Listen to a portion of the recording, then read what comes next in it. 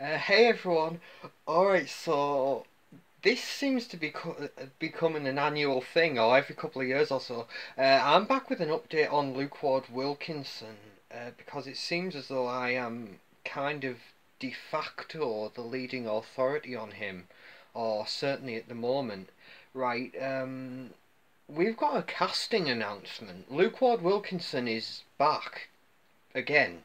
Um, after Lord of the Flies and Luther and Doctors, he he's back. Uh, this he's back on stage, so uh, theatre again. Um, Edward the Second.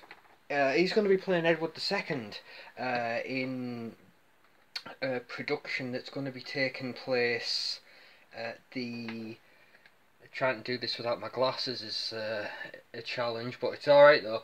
He's going to be at the Tristan Bates Theatre in Covent Garden in London, uh, playing playing the title role of, of Edward II, uh, and that is going to be very soon.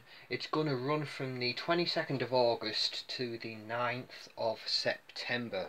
Uh, that's again at the uh, Tristan Bates Theatre. It's a production by the uh, Lazarus Theatre Production um, uh, theatre group uh, production company. Which, um, okay, so he's back on the stage.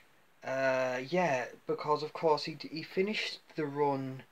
Uh, in Lord of the Flies, again he played the lead. He played Ralph in that, and then things have been pretty quiet ever since.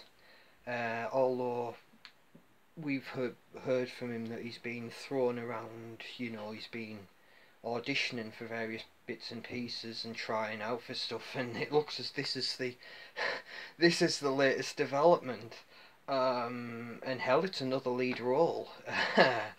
But uh, from what I can gather um, well, this is an all out uh, homoerotic production which is kind of like a dream come true for me. It's like a fangirl moment for me. Um, apparently, there's full frontal nudity in it, so I'll be, you know, it's it's becoming more and more tempting for me by the second. Um, we'll be having palpitations in the theatre, god damn it. Um, yeah, so I just wanted to throw that out for an update for anyone else who was thinking, well, we had this huge return with Lord of the Flies and then guest starring in Luther and Doctors, and then it's been quiet ever since. Well, hey, it's been worth the wait from the looks of it. Uh, so tickets are available now. Uh, I think you're going to be looking at about near enough £20 for a ticket, but from what I can gather, it's going to be worth it. Um, so yeah, that's in Covent Garden in London, uh, the Tristan Bates Theatre, from the 22nd of August to the 9th of September um, lustful, all all the sex stuff aside, though, objectively speaking, professionally speaking, it's important to be professional right now. Um, it's great to see Luke Ward Wilkinson back in something. You know, it's just been a question of time. Um, great to have him back. Uh, hopefully, this will be, you know, the start of like let's call it the next phase in his career so hopefully like he'll do this and hopefully it'll lead on to other things. But again it's another lead role uh, in what I think is quite a should we say infamous theatre production. Uh, Edward II of course um, we've actually got a quote from Luke Ward Wilkinson. The articles I'm looking uh, at and the uh, website for the Tristan Bates Theatre I'll link in the description. Uh, but we got a quote from Luke again let's uh, see if my blind ass can zero in on it. Um, okay, so a quote from Luke Ward Wilkinson I am extremely humbled and excited to have the opportunity to portray one of England's most reviled kings in one of the most iconic plays ever written. I cannot wait to get stuck into the text and discover this incredible play with the company.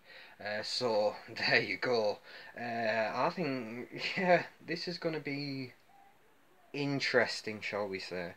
Um, I think it's going to be an absolute joy. Uh, but yeah, let's watch. I'm going. I'm going to be there. I've got more than enough incentive to be there. Uh, if any of you guys are fans of Luke Ward Wilkinson, or should I say fangirls of Luke Ward Wilkinson, I would suggest you might want to see this. Um, but yeah, objectively speaking, I'm sure it's going to be a fantastic play, and I'm sure he's going to knock it out of the park. He knocked it out the park in Lord of the Flies, and I'm sure it'll be much the same here. But yeah, I just thought I'd get back to you with uh, that update, and hey, please feel free to share your thoughts on it.